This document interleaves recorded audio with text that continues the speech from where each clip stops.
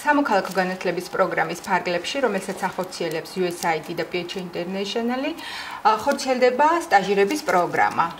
სტაჟირების პროგრამა განხორციელდა ამ ეტაპზე მეცხრე არხში, სადაც მონაწილეობა მიიღეს ასპინძის საჯარო სკოლის და ნაქალაქევის საჯარო სკოლის მოსწავლეებმა.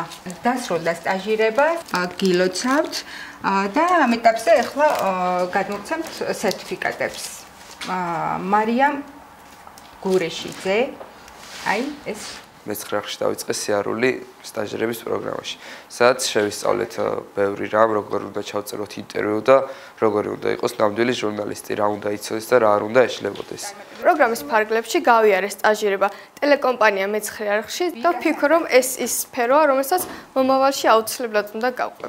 წარმატებები მოქალაქეების მასწავლებელმა შემატყობინა ამ პროექტის შესახებ და რადგან ჟურნალისტიკური ფაკულტეტი მქონდა არჩეული, გადავწყვიტე რომ მოსულიყავი და გამიარა სტაჟირება. სტაჟირების კურსის გავლისას გავიგეთ თუ როგორ უნდა იყოს ნამდვილი ჟურნალისტი, როგორ უნდა მიაწოდოს ხალხს სწორი ინფორმაცია და ასევე ვისწავლეთ ვიდეოების დამუშავება. ხარშება იმედია მოგეწონათ სტაჟირების პროგრამა და გადაწყვეტთ ალბათ სამომავლოდ დიდი მადლობა მეცხრე არხის ხელმძღვანელობას წარმატებებს გისურვებთ.